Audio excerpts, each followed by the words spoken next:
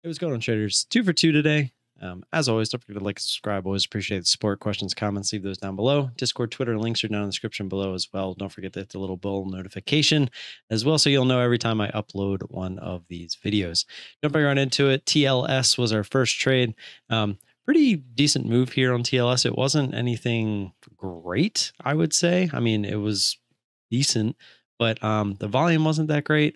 Um, but the move itself was it was like I said, it was decent. You can see as we zoom in here. Um, when you're zoomed out, it looks pretty good, right? It looks pretty straight up. Um, but when you zoom in, you start to see the real story.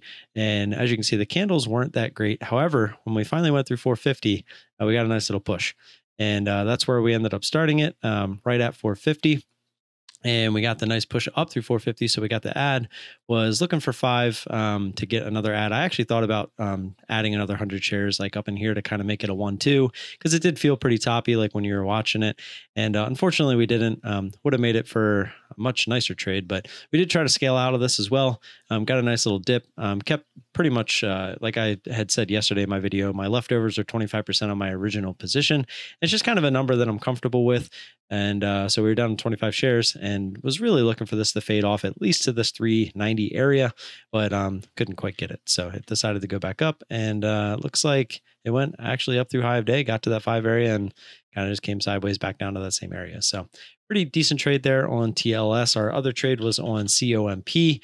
And um, I really wasn't in love with this trade either. Um, when it made this move down here, it just a little looks grindy, a uh, little bit of a pullback, back up through. Decent move here. Wasn't anything I really liked, but I mean, as you can see, the candles really weren't that much bigger, but kind of sitting around, not doing much. And um, I was really hoping for 420 uh, to get this thing started.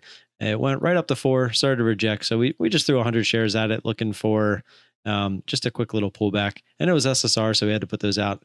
And uh, we actually hit this on the way up. Uh, so we got filled and then it went up and tried four. Was looking for an add up at 420, but never got there.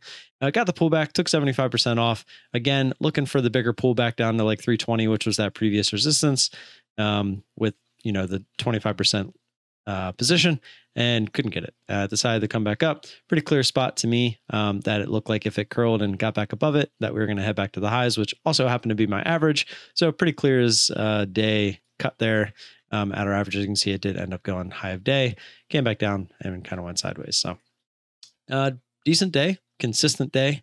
Um, average day, I would say, for where we've been lately, that 40 to like $60. Um, just getting a couple trades. Uh, give me two or three of those A plus trades, and uh, we're seeing those hundred dollar days. And I'm I, I did scale up, and I'm pretty comfortable where I'm at now. I don't want to push it too much because I want to see uh, what happens when we finally do maybe get a day where we have like three or four like good trades, uh, not like yesterday where we had like six very mediocre trades. Um, so I want to see um, where we are right now. Um, till the end of the year at least. Uh, but at the beginning of the year, um, if we're still in the same kind of market, uh, the odds are I'm going to start pushing a little bit more um, because I'm not counting on the market to just pick up um, like I was hoping uh, at the beginning of this year. So obviously we had little sparks here and there, but nothing uh, too crazy as far as like considering something an actual hot market. So maybe with the SPY going up, we're, we're getting pretty close to uh, 400 here again, which is pretty cool. Um, pretty nice to see the market just doing what it wants to do. Uh, every time you think you got some kind of a grasp on it, it decides to just wow you and do something completely out of the ordinary. And I will say, looking at the daily on this thing, um, it does look like we're starting to base a little bit. So we scroll out just a little bit real quick. I know this isn't what you guys sign up for, but on that downswing, um, pretty clear level here that it got under, pretty much got bought right back up, tried to come back down to it, couldn't get there, and now we're making a move higher. And sure, CPI numbers, you know, all that other stuff uh, has a lot to do with this, but um, if you're looking at it from a pure technical standpoint, uh, this very much looks like a W. So we'll see how it pans out, obviously, moving forward. That's all I got. Don't forget to like and subscribe. Always appreciate the support. Again, questions, comments down below. Twitter, Discord links down below uh, in the description if you want to come join those. And uh, have a good weekend. I'll see you guys Monday morning. Peace.